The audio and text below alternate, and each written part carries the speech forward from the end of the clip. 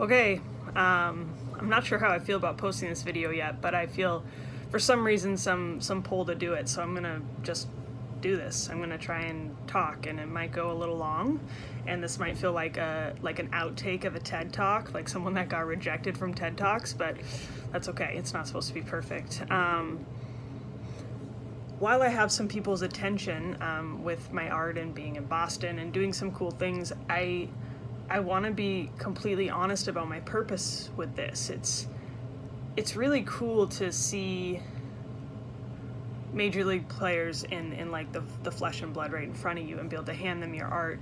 Um, but the true reason I'm doing this is, is not just my passion for baseball and my hope to like do my favorite things, art and baseball together on a large platform and, and to make a living off of it. It's it's to prove to myself that um, my mental struggles don't have to define boundaries in my life. They don't have to limit how far I can go as much as they feel like they do sometimes. And um, I realize I put together most of the time, or a, you know, a put together successful person on on social media. But the truth is, I almost didn't go because I'm afraid to fly because I'm afraid I'll have a panic attack on a flight. Um, you know, I'm I'm stressed because I spent money to get here and I'm worried that I won't make that back and what if I fail and you know, the same things a lot of a lot of people think, but it goes deeper than that. Um, struggling with panic attacks, anxiety, and depression for ever um, has you know, had its drawbacks. And I, I, was thinking this morning to myself after having a really cool conversation with, with um, a gentleman last night is, why am I doing this? Like, what's my goal? And, you know, sure, I'd love to have a house on the lake, but, but my bigger goal is that I want to prove to myself and anyone that's listening or watching my journey that has mental health struggles that that we can do it that it's not it doesn't have to define us. And while you might be in fear the entire process and be uneasy the entire process if you keep taking steps forward um, you'll get there. And i'm not there yet but my whole purpose in what i'm doing is not just about getting to meet so and so and hand my art to so and so and and you know maybe bring in some income that makes me more comfortable.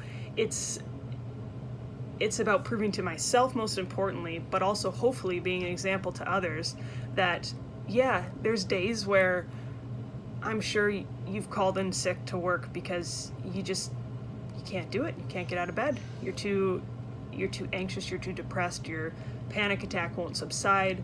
Um, but that that doesn't define you. A bad day doesn't mean a bad life.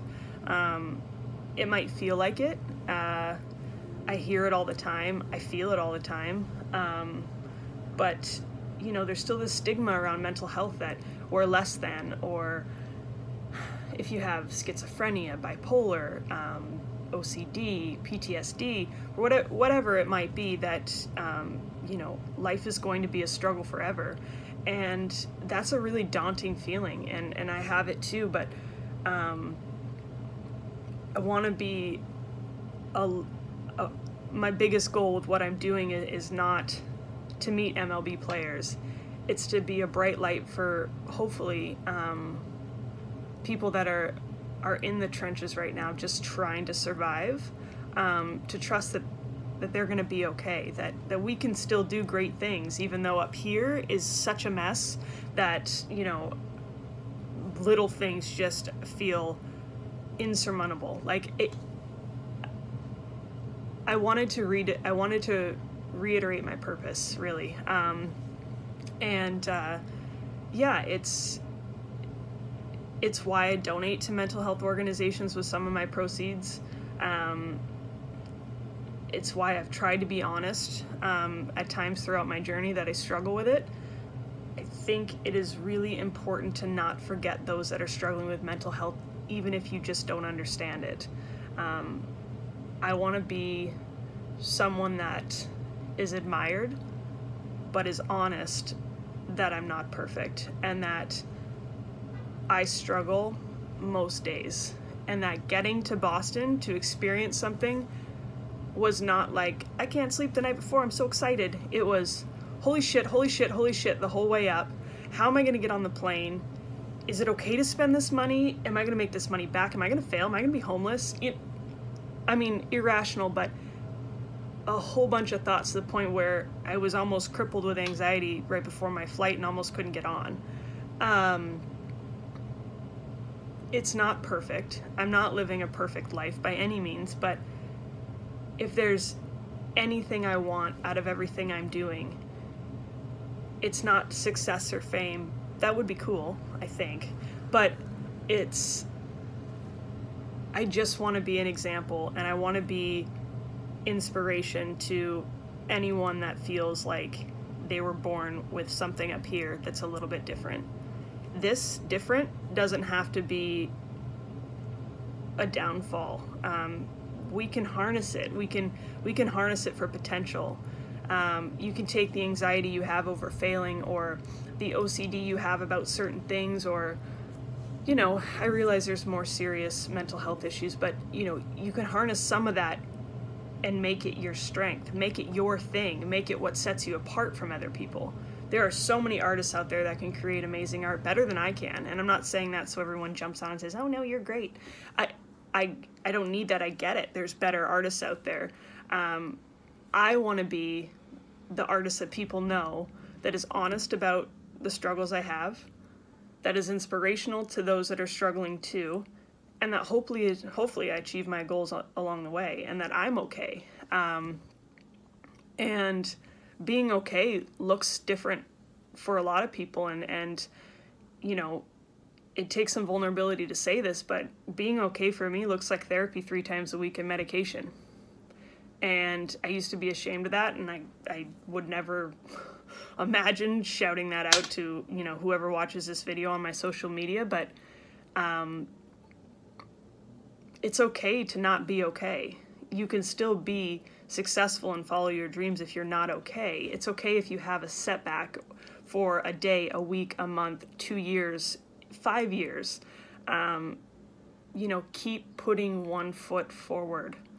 Um, there's hope out there, and and this this brain that sometimes I want to like get a new one. Um, also has some positives and I just I just want to remind anyone that's struggling with mental health that some of your isms, as I like to call them, some of your some of your what I feel like I call myself are like glitches, like where something gets stuck and I just can't be normal like everyone else and, and relax. Um, I think is gonna I think has um, a unique ability to push me forward too. Um, and if nothing else, I hope that I can uh, I hope with what I'm doing, um, not just with financial contribution, but with, with open honesty and vulnerability, I can inspire others who are who feel like they're different or don't quite fit in because they think different or they get stuck on thoughts or you know some mornings they just do not know how the hell they're going to get from point A to point B a being the bed, B being work, or B being school, or B being whatever. Um, that it's okay that you have those bad days and that um, there's going to be good ones too. Uh, so that's all I wanted to say. Um, I'm headed out to the field today. I hope it goes well. Um, I've got a lot of art to hand out, and um, I just want to to share this video and, and remind myself and remind others of, of the real purpose behind what I'm doing this for. It's, um, yeah, so there you go. That's all. By the way, it's hot as balls here. I have not stopped sweating since I landed like two days ago. I know I'm in a sweatshirt. It's because I turned the AC up in up in this this hotel to a point that's probably not environmentally friendly. But I just wanted to remember what it feels like to wear a sweatshirt and not sweat through it. So I'm gonna take this off and go outside and go back to sweating. Um, hope you all have a great day. Bye.